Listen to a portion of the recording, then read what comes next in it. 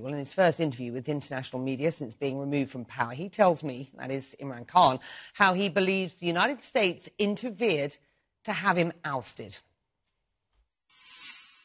On the 7th of March, Becky, uh, Under Secretary of State uh, in the US, who's responsible for South Asia, he calls our ambassador, a meeting between our ambassador in Washington.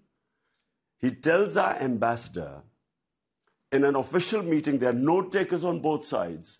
He tells the ambassador that unless you get rid of your Prime Minister Imran Khan in a vote of no confidence, which by the way hadn't been tabled as yet, but he seemed to know about it, he said, unless you get rid of him, Pakistan will suffer consequences. And then goes on to say, of course, if you get rid of him through the vote of no confidence, all will be forgiven.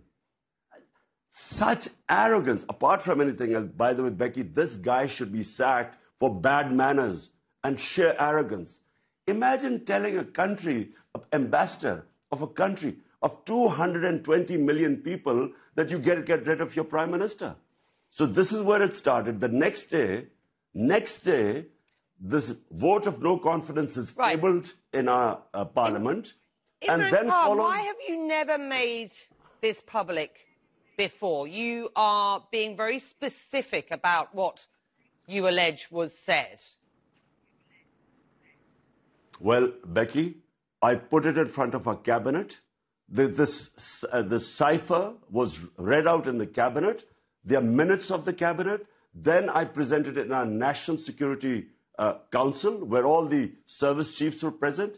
Why did I present them? Because this was a blatant intervention in the internal affairs of Pakistan, a regime change. As Prime Minister at the Council. time, did you get in touch with the US President, with the US Secretary of State?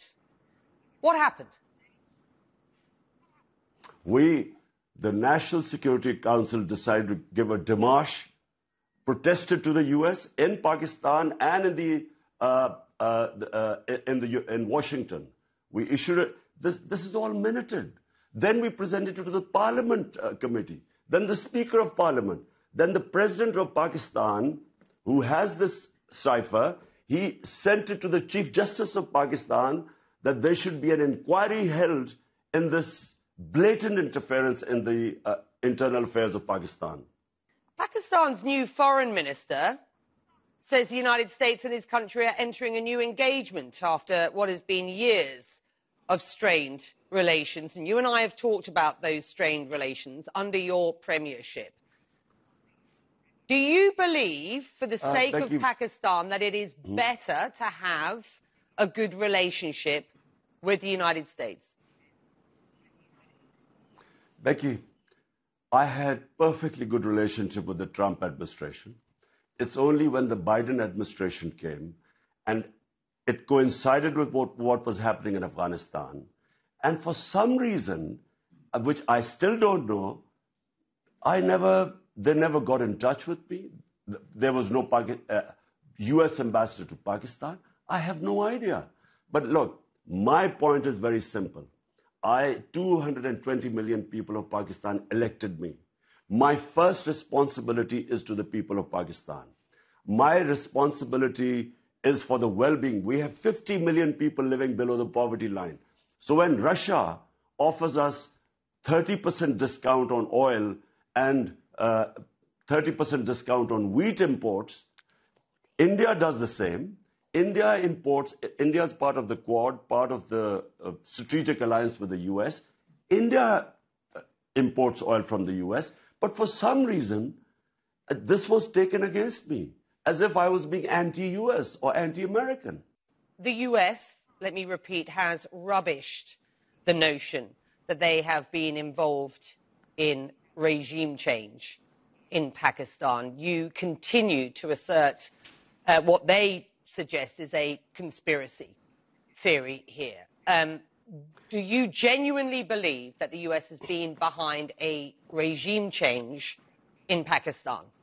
Before this happened, before this uh, meeting with Donald Lu and our ambassador, the US Embassy was calling members of, of my party who were, who, who were some of the backbenchers who were not happy.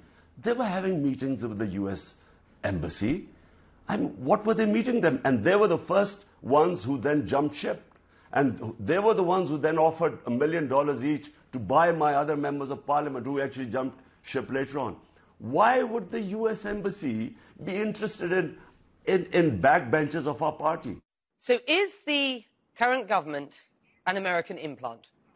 It, it's with their blessings. And you know, the painful thing, Becky, is not just that everyone, we all call it imported government, but the worst thing is there are a bunch of criminals. For 30 years, these guys have been plundering the country. 60% of the cabinet is on bail. You were in Russia meeting President Putin the day he announced the war in Ukraine. The optics didn't and don't look good, do they?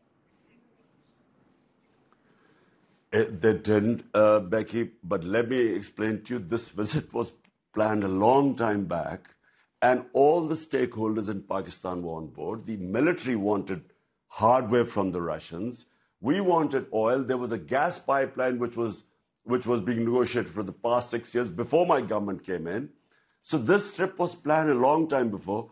How would I know that the day I land in Moscow, uh, uh, President Putin wants, uh, decides to go into U- Ukraine? Do, I wasn't do you supposed regret, to know that. Do you regret that trip now? I would regret if all this, if we had known about the invasion and then I had gone in, I guess I would have regretted it because I do not believe in military solutions. I have opposed all all military ways of achieving uh, uh, political ends. So, but I wasn't supposed to know.